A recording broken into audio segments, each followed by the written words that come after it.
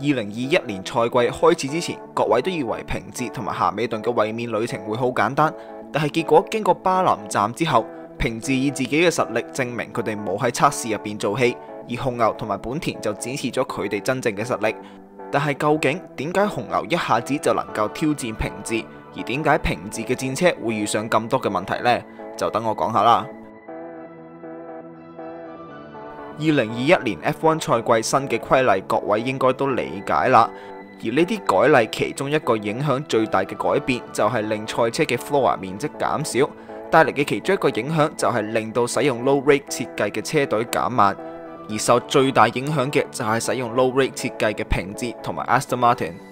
Aston Martin 車隊負責人 Otmar Svanauer 都表示，車隊嘅戰車受改例影響，令賽車嘅實力下降。同時，平治車隊負責人 Toto Wolf 更加表示，呢啲規矩嘅改變係針對平治，令平治更加慢而改變嘅。但係喺講呢啲規矩點解令平治嘅 low rate 設計受影響之前，就等我先講下 rake angle 究竟係咩啦。rake angle 就係指車身由後面到前面嘅水平角度，車身後面比前面高，例如紅牛嘅設計呢，就係 high rake 嘅設計啦。大部分車隊都係使用呢個設計嘅，而後面同埋前面嘅高度相差唔大嘅設計就係 low rake 嘅設計啦。而平字呢，就係用呢種設計。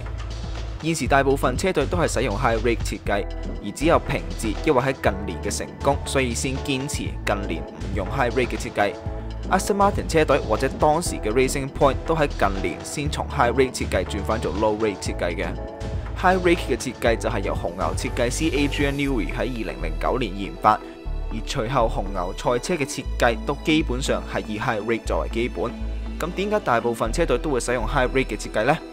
如果只喺氣動力方面嚟講，high rake 嘅設計優勢比較大，因為車尾同地面之間嘅空間較大，令車尾嘅 diffuser 會有更加大嘅流量，從而製造更加大嘅下壓力。同時，high rake 設計會令到車嘅頭翼更加接近地面。可能只係近多幾毫米，但係能夠協助賽車喺低中速彎增強 ground effect，減少 understeer 呢個問題。High rake 設計能夠帶嚟最重要嘅好處就係令賽車本身變成一個 diffuser，先將流入嘅空氣壓縮，之後俾流出嘅空氣通過時擴張，造成低壓區，喺車嘅 floor 同埋地面之間製造更加大嘅吸力，從而製造更加大嘅下壓力。而平治使用 low rake 就需要增長 wheelbase，以補償使用 low rake 设計失去嘅 diffuser 流量。車雖然喺直路上同埋高速彎比較快，但係犧牲咗車喺低中速彎嘅反應同埋控制，亦都係紅牛 high rake 短 wheelbase 專長嘅地方。平治自從二零一七年改例之後，一直都努力緊改善車尾嘅穩定性。上年更加將車尾嘅懸掛系統向後移，增加尾胎嘅負重。令車頭能夠使用更加 aggressive 嘅設定，增加車頭負重，改善賽車喺中低速彎嘅控制。咸美頓喺二零二零年賽季就能夠喺車頭同埋車尾之間揾到平衡，但係今年改例就令到平治失去大量嘅 floor 面積，而平治失去嘅 floor 部分就係影響車尾穩定性嘅關鍵部分。同時，平治唔能夠喺 floor 開窿控制空氣流動，令車頭同埋車尾嘅平衡被嚴重打擾。加上今年賽車多個嘅部分設計已經被凍結，令平治能夠挽回嘅下壓力有限，所以喺測試嘅時候都見到夏美頓同埋保達斯跣胎，而到比賽嘅時候都聽到保達斯投訴賽車好難控制，所以平治就喺 low rake 設計加上長 wheelbase 呢方面失利，令賽車失去大量嘅速度。而點解平治唔能夠簡單咁將車尾嘅高度調高呢？咁就係因為賽車喺設計嘅時候以 low rake 嘅設計作為基本，如果改變咗車尾嘅高度，就會牽一發動全身，影響晒成架車嘅氣動力效率。所以平治需要揾解決方法，並唔係咁簡單。呢個 floor 規例嘅轉變唔止影響咗 floor，更加改變咗車胎附近嘅空氣流動。要理解呢個影響，就要先理解 tire squirt 呢個概念。Tire squirt 就係喺車胎轉動時所製造嘅氣流，氣流會流過車胎同地面嘅接觸點，形成車尾嘅真空區域。車隊需要控制車尾嘅 tire squirt，從而控制 diffuser 外圍嘅空氣流動。如果車隊冇辦法控制到 tire squirt 咧，氣流就會進入 floor 底部，影響空氣流動，同時影響 diffuser 嘅效率，減低車尾嘅下壓力。所以車隊會喺 floor 嘅尾段增加一啲構造，將 tire squirt 保持喺車胎嘅兩邊，盡量貼近車胎。同時加上 brake duct 嘅葉片，將空氣向上導流，更加有效控制進入 diffuser 嘅氣流。今年除咗車尾嘅 floor 面積減少，車尾 brake duct 嘅葉片長度都被減短，而平治就可能係呢一方面被影響到，令賽車嘅 diffuser 效率降低，失去咗更多嘅下壓力。同時，除咗車胎附近嘅空氣流動，車胎本身都為平治帶嚟挑戰。